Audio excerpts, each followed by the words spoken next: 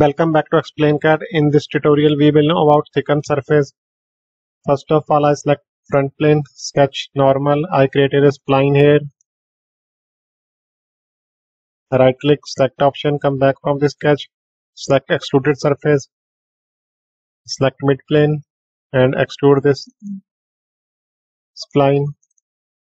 Select OK. If we want to select this surface, part into 3D printing, we can't use this surface for 3D printing because the, surface have zero thickness. By thicken, we add some thickness here and convert this surface part into solid part. In thicken parameter, select this surface.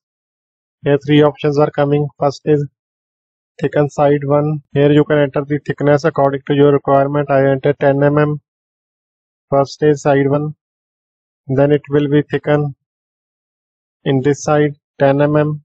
Next option is thicken both sides. It will be thicken at both sides 10 mm this side and 10 mm this side. Last one is side 2 it will add thickness at this side. I select thicken one side I select thickness both side. Select OK now our surface part is converted into solid. Now you can use this part for 3D printing Thanks for watching. Please subscribe.